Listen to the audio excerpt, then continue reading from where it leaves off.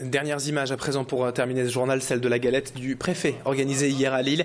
Euh, c'est quand même la tradition, euh, mais avec quelques jours de retard hein, par rapport à l'épiphanie. Vous l'aurez remarqué, la préfecture du Nord accueillait donc hier soir quatre jeunes apprentis boulangers venus refaire goûter leur galette.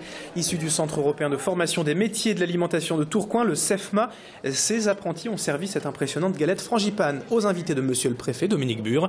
L'occasion d'ailleurs pour lui de présenter ses vœux pour 2013 et de mettre en avant le savoir-faire régional. Retour d'ailleurs sur cet honneur pour ces apprentis boulangers avec l'un d'entre eux, Martin, au micro de notre journaliste. Ça fait énormément plaisir, étant donné qu'il bah, y en a quand même beaucoup qui sont boulangers dans la classe et même au CFMA. Donc ça veut dire quand même qu'on a un niveau qui est quand même correct, donc ça fait plaisir d'être reconnu pour ça. Puis même c'est un, challenge sympa, c'est une expérience euh, intéressante, parce que c'est quand même rare de faire une galette de cette taille-là. Donc ouais, c'était sympa, puis même c'était convivial parce que bah, bah, moi je les connais bien, je travaille avec eux toutes les semaines au CFMA, donc euh, ça s'est fait dans la bonne ambiance et puis